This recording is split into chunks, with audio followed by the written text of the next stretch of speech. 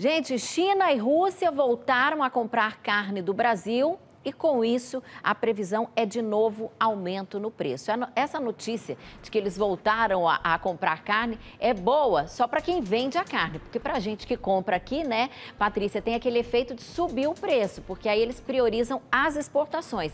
E ainda tem as festas de fim de ano, que normalmente já jogam o preço lá para cima. Estou achando que a ceia desse ano vai ter que ser vegetariana.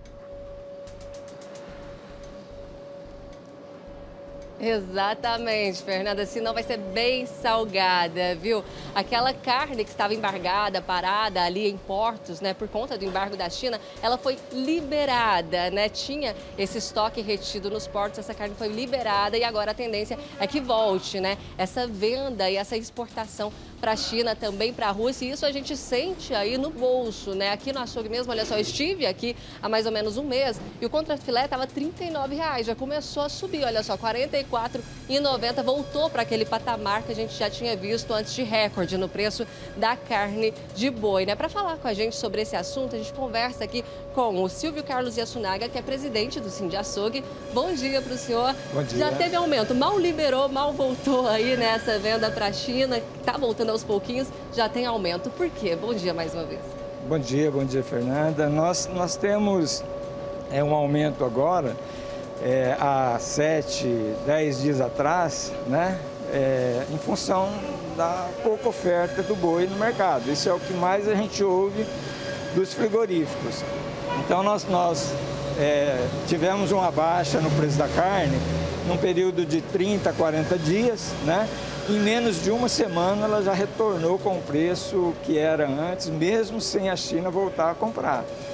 Para se ter uma ideia, Fernanda, quando teve aquele embargo, fechou tudo, né? A arroba do boi chegou a custar 240 reais. Antes estava em 350 e agora está voltando para esse patamar aí, passando dos 300, chegando a quase 350 reais a arroba do boi. Agora, esse aumento para os açougues também não é uma coisa boa, né?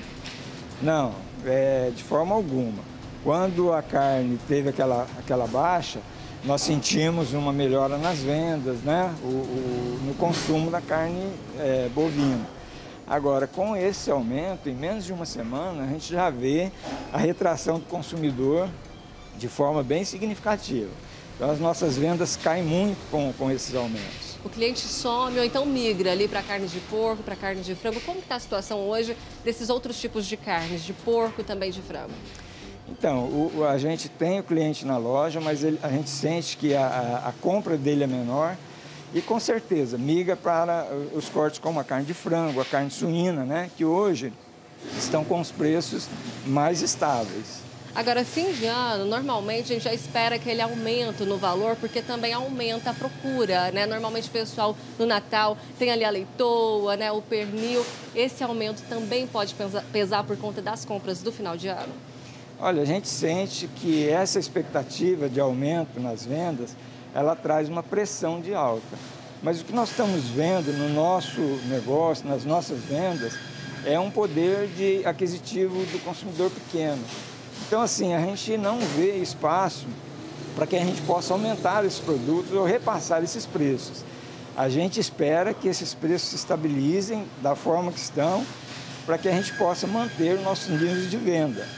Agora, dá para entender, você disse aí que está faltando boi, né? Até uma expectativa também, um dado divulgado. Dá para entender o porquê que está faltando boi? Tem alguma justificativa? O senhor saberia me dizer? Olha, o que a gente mais ouve dos frigoríficos para justificar esses aumentos, que são constantes, quase que diários, é a pouca oferta do boi para eles, né? Então a gente imagina que aquela pressão que o produtor tinha com o boi que já estava pronto para exportação e que veio para o mercado acabou. Então hoje é, o, o, boi ele está, é, eles estão com menos pressão, soltam o boi para o pasto, né, para segurar até que tenha um, um preço que seja é, compatível com o custo de cada um. Tá certo, muito obrigada pelas informações, Fernanda. É cada um defendendo ali o seu lado. A gente viu aqui o Cindy Açougue dizendo que não é favorável, né? Esse aumento expressivo nos preços, cai também o número de vendas. E quando a gente conversa ali com o pecuarista, ele diz que está sofrendo, né? Que está tendo prejuízo.